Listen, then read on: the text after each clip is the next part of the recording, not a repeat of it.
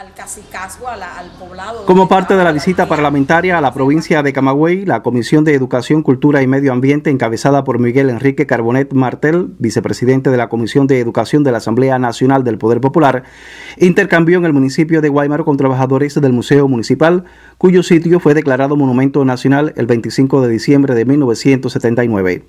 En su encuentro, Yanieski de la Caridad Trecus Ruiz, directora de la institución, ofreció un viaje imaginario a los visitantes por la historia de la localidad, considerada la cuna de la Constitución cubana. Visitaron además el mausoleo donde reposan los restos de Ana Betancourt de Mora desde 1982.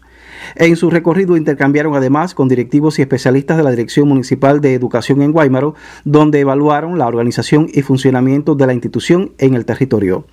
Hasta la emisora municipal Radio Guaymaro llegó la comitiva y allí intercambió con trabajadores del medio sobre la responsabilidad de la prensa con la nueva ley de comunicación que rige en el país y el compromiso de acercarse siempre con veracidad a su público.